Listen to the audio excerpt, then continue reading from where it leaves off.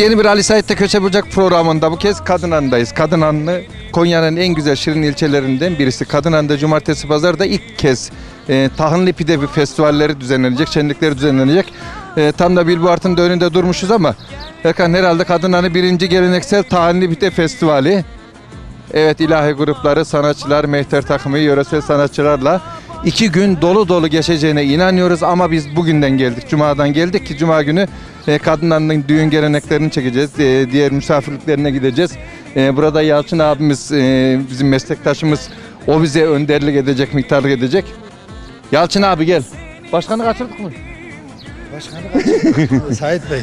Evet, e, Yalçın abi, Yalçın Dinç abi e, bizim meslekte hem pirimiz hem ağabeyimiz. Çok uzun yıllara dayanan da bir dostluğumuz var. Kendisi Kadınan'da da e, birkaç tane basın grubunun da temsilcisi. Kendi iş yeri olan, gazetesi olan. Evet, Yalçın abi. Şu anda Kadınan'dayız, siz de misafiriz. Kadınan'ı deyince akla gelen bir şeyler neler olur? Bir şeyler söyle. Önce Kadınan'a geldiğiniz böyle program yapacağınız için teşekkür ederiz. Kadınan'ı denince akla e, ilk defa Konya'nın e, en eski ilçesi Kadınan'ı. E, Adana ile beraber kurulmuş. E, şu 10 yıla kadar 15 yıla kadar e, Cihanbeyli Kulu gibi büyük ilçeler bize bağlıydı. E, biz Konya yakınlığımızdan dolayı bir türlü ilçeyi e, geliştiremedik, büyütemedik. Konya yakınlığımızdan dolayı çok göç veriyoruz. Halkımız e, çiftçilik ve hayvancılıkla uğraştığı için son 15 yıldır da üniversite şehri olmaya çalışıyoruz. İnşallah oluruz. Öğrencilerin E, kaç yıllık şeyler var? İki yıllık herhalde burada meslek yüksek okulları. Yüksek okullar var burada. Ee, 16 taneye yakın bölümümüz var burada. Ee, Eğitim öğretim açısından ve Türkiye'deki 2 yıllık yüksek okulları içerisinde en iyi yüksek okul, başarılı e, yüksek okullar sıralamasında 3'e geliyor Türkiye'de bu okulumuz. Kadınan'ın geleceği bu okula bağlı. Ee, inşallah e, yatırımcı arkadaşlar, e, İstanbul'dakiler İçili ailesine buradan yine teşekkür ederiz. İçili ailesi buraya yüksek okulu yaptı, bir de yurt yaptı. Devlet de onun ona katkı olarak bir de 300-500 kişilik daha yurt yaptı. Ee, biz yatırımcılar bekliyoruz ancak Kadınan'ı kurtaracak olan e, Tarım ve hayvancılık tabii önemli ama e, öğrenci dışarıdan bize yabancı öğrencinin gelmesi çok şart. Yabancı insanların gelmesi çok e, önemli bizim için. İlçemiz e, dar kapasitede bir ilçe. E, bir şeyleri e, görmediler bu zamana kadar. Bu insanlara daha fazla farklı yatırımlar yapılması gerekiyor. Büyütmemiz gerekiyor. Çok kötü kaldık biz yani. Geri kaldık ilçede. e, Konya ilçeleri içerisinde. Ama e, yeni yeni işte ilk defa bir belediye başkanımız burada bir e, Tahanlı Pide e, festivali düzenliyor. E, bu Tahanlı Pide senelerdir Türkiye'nin her tarafına gönderiliyordu Türkiye'den. İşte Kadınan'dan çok ucuz, maliyet çok. Nasıl Antep'in bir baklavası varsa bizim de meşhur e, tahanlı pidemiz var. Türkiye'de bilmeyen yok.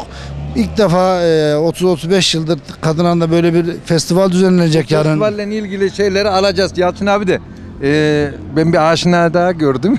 Ha, eski belediye başkanımız, Kolusa Belediye Başkanımız. Gel başkanım. abi merhabalar. Nasılsın? Allah razı olsun. Başkanım, Hayırdır? sizi görmek de hoş Diyecektim, geldi. Ha, festival var doğru. Evet biz festival de yarınki e, cumartesi pazar festivaller canlı yayınlanacak Konya televizyon ekranlarından. Ben aldım festivali. Biz bir gün önceden geldik ki biz kadınlarla daha farklı çekimler yapalım diye. Çok değerli belediye başkanımız. Abi önce sizi sizden tanıyalım. Salih Sunay, serbest avukatlık yapıyorum. Kadın anlıyım. Aslında etli ekmeğin yuvası burası.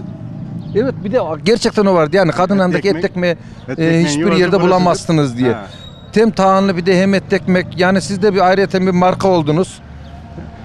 Bilmiyorum belediye başkanı bir şey için uğraşıyordu marka için ama Tahanlı pidenin He. e, patentini aldı Kadınhane Belediyesi aldı. Onaylattılar şu anda. Belediyeye ait Kadınhane Belediyesi'ne ait Kadınhane Tahanlı pidesinin. Tabii etli pide e, Ama Konya'da en güzel etli pide Kadınhane'de yapılır. etli ekmeği kaçırmışız. Evet etlenmeye kaçırmışız. Abi bırakın o da Konya'da kalsın ya. O da Konya'da Abi kalsın. Ne şimdi Konya'da sizin bizim. eski e, belediye başkanlık yaptığınız dönemlerdeki e, kadın hani bir çevresiyle şimdikini kıyaslarsanız e, neler söylemek istersiniz? Valla sosyal olarak çok fazla şey yapmadı ama inşallah bilinç kafa olarak biraz gelişti. İnşallah bundan sonra da gelişir. Şu yeni kanun uygulamasında her şey aşağı yukarı kadın anda toplanacak. Partizan olmayan, herkesi kucaklayabilecek bir belediye başkanı olur.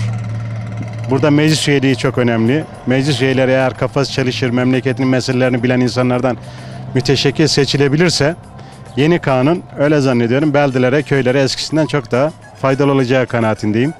İnşallah da öyle olur. Ben size hem hoş geldin diyorum. Hem gördüm. He, Allah'a ısmarladık diyeyim. Abi hakkını Allah et. kolaylıklar versin. Sağ ol abi. Evet bir eski bir tanıdığı da görmek de gerçekten iyi oldu. E, şimdi e, herhalde burada bir kermes var Yalçın abi. Evet, e, Bir kermesimizi bir ziyaret edelim. Ne amaçla kullanılmış? Bir de ona bakalım. Bir taş attım alıca Evet şu anda Kadın Han'da ismini de veren e, Han'ın önündeyiz. Han e, genelde hep hayır hizmetlerine kapılarını açan e, oldukça çok güzel tarihi bir yer. Bugün de bir kermesimiz var. E, gene hayır çarşısına hoş geldiniz e, tabelasıyla bizi karşılıyor. E, kermesi kimler ne amaçla kurmuşlar bir de onları tanıyalım. Kermesi e, kuran e, Hoş abimizle geldiniz. birlikteyiz. Öncelikle sizi tanıyalım. Bu Kadınanı ve Osmancık'taki yurtlarımızla alakadar olan Hüseyin Amber, yurt koordinatörü.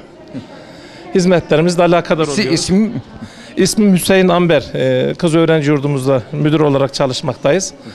Kadınhanı'nda Osmancık'taki öğrencilerimizin yararına, geçen hafta bir kermesimiz vardı. Bu hafta da Osmancık'taki talebelerimizin yararına bir kermes düzenledik.